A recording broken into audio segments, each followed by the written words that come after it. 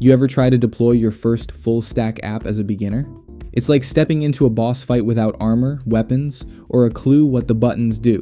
One minute you're writing React code, the next minute you're staring at YAML files wondering if you accidentally pivoted into a DevOps career. This wasn't what you signed up for.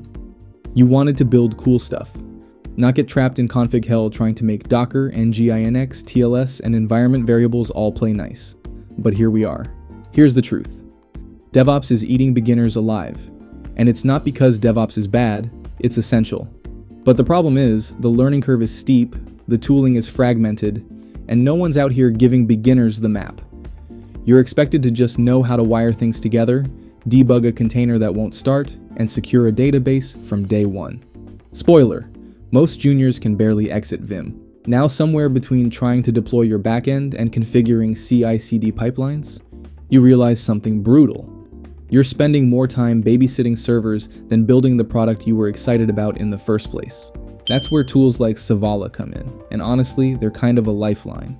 Sevalla is a modern platform as a service that takes care of the boring, time-sucking infra stuff so you can focus on building. You get fully managed services, Git-based deploys, no surprise bills, and $50 in free credit to start. It's fast, reliable, and backed by Google's cloud. Best part? You actually get support from real humans, developers who know what you're dealing with.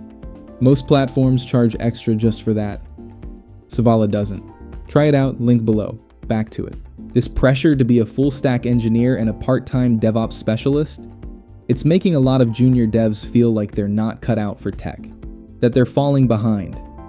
But they're not. They're just stuck in a system that expects them to act like senior engineers before they've even had a proper shot at learning the basics. And the irony? Even senior devs use managed platforms. Nobody's out here building bare metal servers from scratch anymore. That's not real engineering. That's just inefficient. So if you're feeling overwhelmed, it's not you. The ecosystem is complex.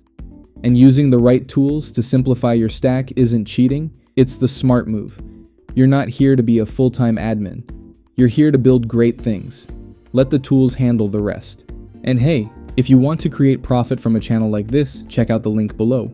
Or else subscribe to Shade of Code, because I believe in you.